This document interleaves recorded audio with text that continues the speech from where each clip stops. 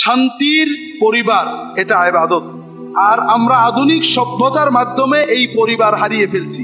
দুই দিক থেকে, নারীরা নারী অধিকার অধিকার সচেতনতা, ব্যক্তি স্বাতন্ত্র্যবোধ ইত্যাদির নামে স্বামীর আনুগত্যটাকে অপরাধ মনে করে। আমরা সবাই, আমার মেয়ে ইয়ার হোস্টেলের চাকরি করে, আমার মেয়ে ফাইভ স্টার হোটেলে ওয়েট্রেসের চাকরি করে, বিরাট। অনেক টাকা।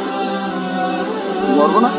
কি করে? বেটাদের ক্ষেত্রে পর পুরুষদের রান্না করে খাবার দেয়। যতবার বলে, ইয়েস স্যার বলে, গেলেন উঠে দেখেন যত বাজে কথা বলেন, ইয়েস স্যার কি মুখে কথা বলে, স্যার করে, এটা আপনার গৌরব। আর আপনার মেয়ে স্বামীর রান্না করে দেবে, এটা নাকি অপমান। আধুনিক সভ্যতা কিন্তু এটাই শেখাচ্ছে।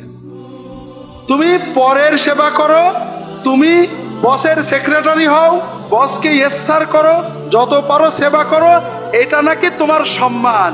আর তোমার স্বামীর সেবা করবে, এটা তোমার অপমান। এই অসভ্য বর্বরতার সভ্যতাই একদিকে নারীরা যেমন অধিকারের নামে দায়িত্ব সম্পর্কে অচেতন হচ্ছেন, পুরুষেরাও সভ্যতার নামে অসভ্য হয়ে স্ত্রীদের সাথে দাম্পত্য জীবনে কলহ তৈরি করছেন, সবর করছেন না ত্যাগের মানসিকতা হারিয়ে যাচ্ছে। মুত্তাকিদের যে বড় বিষয়, একটা সুন্দর পারিবারিক জীবন, এটা আমরা পাচ্ছি না। আর আমরা চাই যে আমরা রসুল্লাহ সাল্লামের সুন্নতের মতোই একটা পারিবারিক জীবন অর্জন প্রত্যেকের চেতনা থাকবে। এজন্য সন্তানদেরকে সেভাবে লালন করতে হবে। তাদেরকে সেইভাবে শিক্ষা দিতে হবে। আমাদের পরবর্তী প্রজন্ম যেন এই রকমই হয়।